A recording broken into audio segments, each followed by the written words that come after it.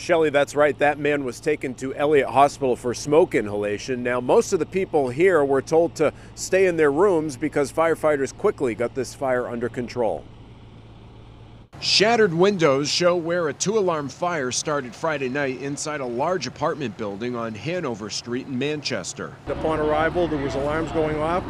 Uh, when they investigated, they found a heavy smoke condition on the first floor. More than 100 people live in the six story Manchester Housing Authority building. Most of them are elderly. This is a very familiar building with us.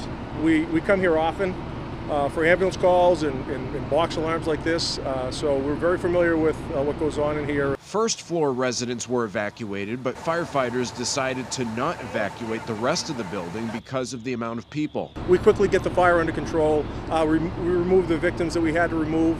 Um, everybody else sheltered in place, and, and that's the safest thing to do in a situation like this. Fire Chief Dan Goonan says sprinklers helped to contain the flames to the first floor. The sprinklers um, certainly held the fire down uh, until we got in and um, we put the rest of the fire out. It's the second Manchester fire in the past few days where sprinklers played a key role.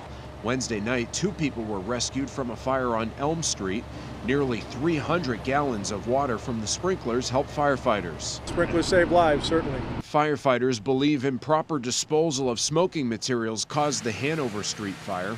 Most people were allowed to return to their homes, but several apartments have smoke and water damage.